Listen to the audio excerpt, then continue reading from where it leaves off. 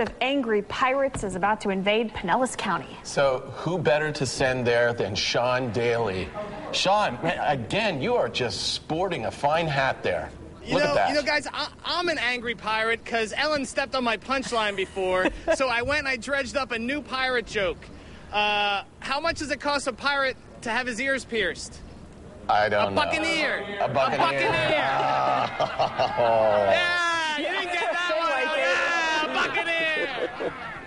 you didn't get that one, Ellen, did you? What happened, Ellen? Didn't Hey get guys, it. hey.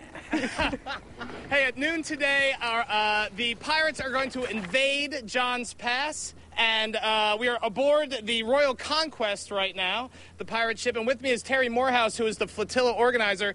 He is going to be uh, leading the charge. Would that We be right? We are. We're going to bring him in at 12 o'clock. We're going to come down the North Channel, and we're going to engage in a battle of some dastardly scoundrels that are going to be over here on the south side. And for the ninth year in a row, we're going to reclaim this city in the name of John Levique. I love that. And when do you give it up? Do you give it up at the end of the weekend? Oh, we never give it up until they try again next year, and then we have to give it up for a day, and then we reclaim it back again. You know, Terry, I'm furious. Where is your pirate garb? What's going on here? Well, uh, I was at the Pirates Ball last night, and, uh, you know, it was a little bit of a soaking night.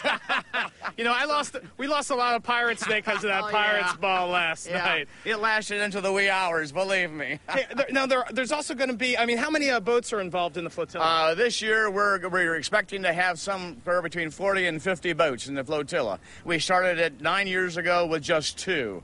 So, oh my, really, just two? with just two boats in the invasion. And what we plan to do next year is we plan to submit an application to Guinness to make this the world's largest pirate water gun invasion. I love it. because it's my CPS There you 1200 go. that will capture these Good. Yeah.